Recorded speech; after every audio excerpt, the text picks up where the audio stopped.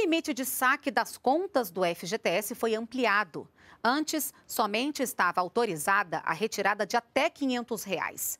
Com a nova lei do FGTS sancionada pelo presidente Jair Bolsonaro, o valor a ser sacado pode ser até 998 reais. Até o final do ano, devem ser injetados 3 bilhões de reais na economia.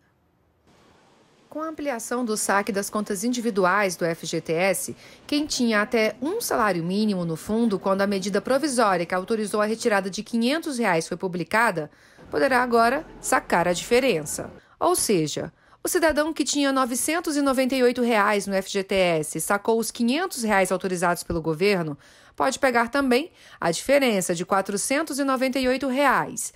Mas a permissão só vale para quem tinha até um salário mínimo na conta. Por exemplo, quem tinha mil reais não poderá sacar mais nada.